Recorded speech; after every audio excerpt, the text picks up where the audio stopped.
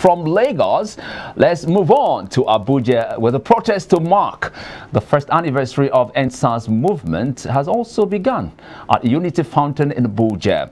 The protesters gathered with a big banner with the inscription, We are or we never forget 2010 20 hashtag EndSARS Memorial.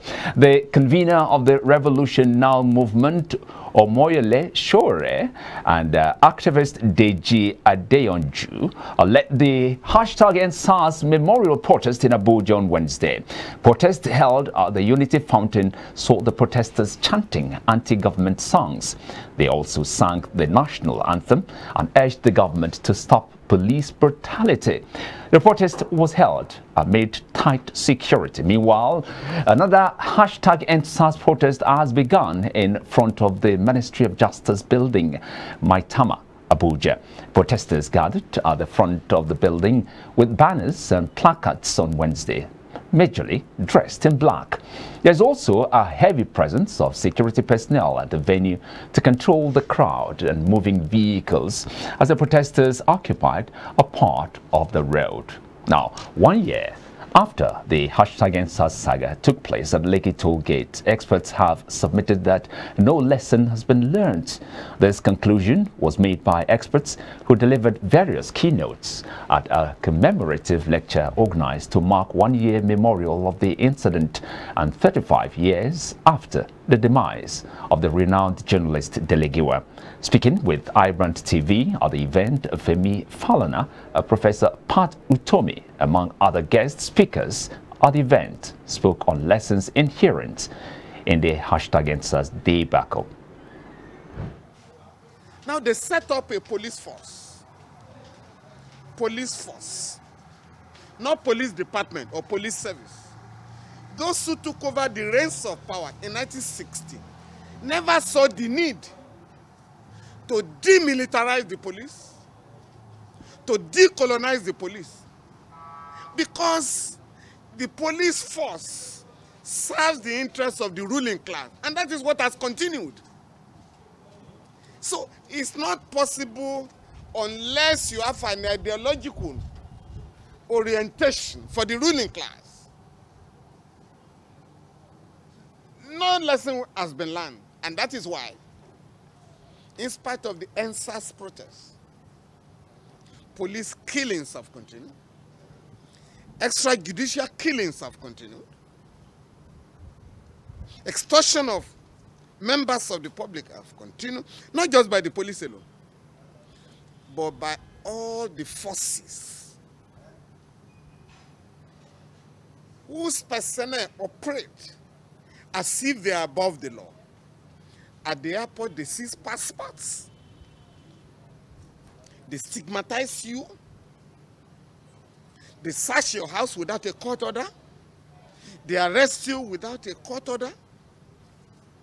Whereas the law says, before you can take away any of the fundamental rights entrenched in the Constitution or in the African Charter on Human and People's Rights, you must get a court order. So you can't declare a Nigerian wanted without a court order.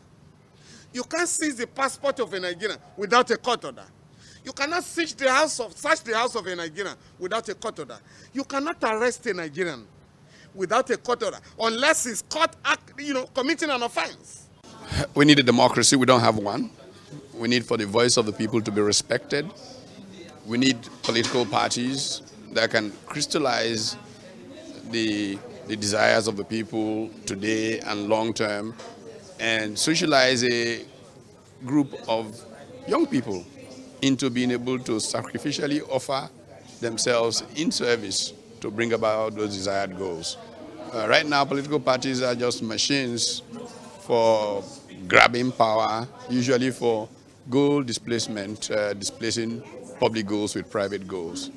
And we have seen what it has done to us. Just look last weekend and see the mess that the so-called uh, uh, primaries were. Uh, because what is at stake is not how a country moves forward. What was at stake was individual rush for whatever purposes they perceive that the system does offer.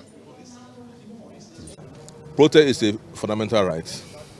So uh, the, the, IG or the police doesn't have the right to stop any police. I mean, any, any protest. I mean, any peaceful protest. I mean, and the uh, courts. I mean, it's made that one clear in the case of police versus uh, um, ANPP. The Court of Appeal has decided that one that uh, the police have no right to stop any protest.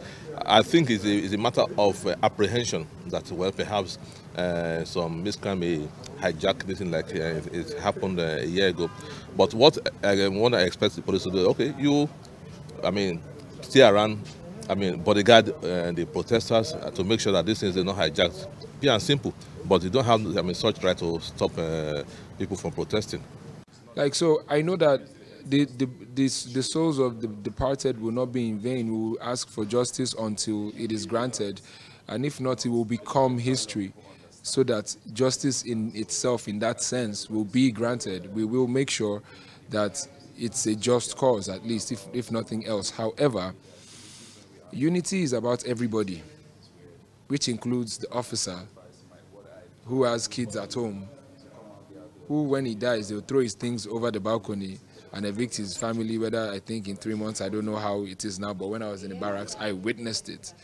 If your, if, your, if your papa like me die for incident duty, in the next three to six months they will evict your family, his family, without any idea of where they're going to. So the way forward would be let's just be human again.